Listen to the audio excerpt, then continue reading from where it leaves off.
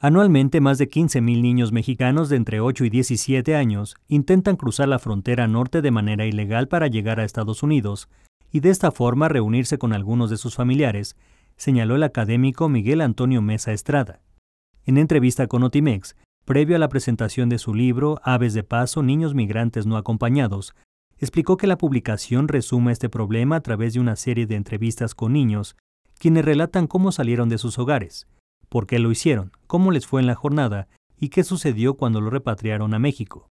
Este es un fenómeno que tiene muchos años, que se reproduce de alguna manera siguiendo la pauta de los mayores, que se van a Estados Unidos buscando el sueño americano, pero que los detienen y los regresan a México. ¿no?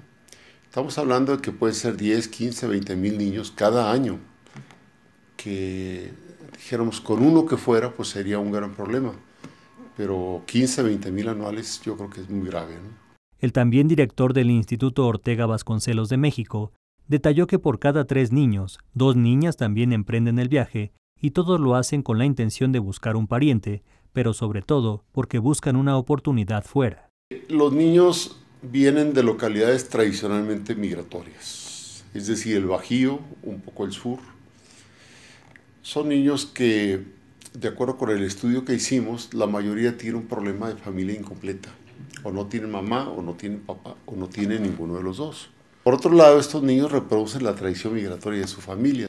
Entonces, para ellos es como, dijéramos, como algo fatal que tiene que ocurrir a cierta edad, irse a Estados Unidos. Y por eso se van. Podríamos decir que el motivador es la reunificación familiar, pero en muchos casos ellos no tienen padres con quien ir a reunificarse. Quizá algún hermano, algún conocido, pero no, técnicamente la familia no se va a reunificar con la salida de los niños.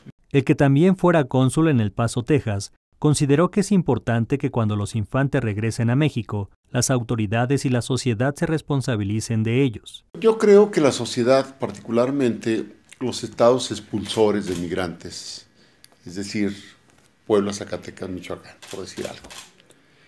Eh, responsabilizarse de estos niños en la frontera, tener casas o centros de asistencia para ellos. Segundo, las localidades fronterizas, todos estos eh, organismos sociales, los clubes de esto y de esto y de esto, las sociedades de tales y cuales propósitos, pues deberían de tener centros de atención a estos niños, de orientación, de protección. El sentimiento humano por ayudar a estas personas sería muy bien correspondido si nuestros legisladores o las personas del área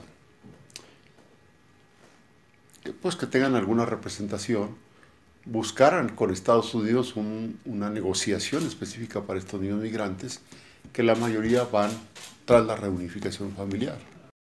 Con información de Iván Santiago Marcelo e imágenes de Estefanía Alanís, Notimex.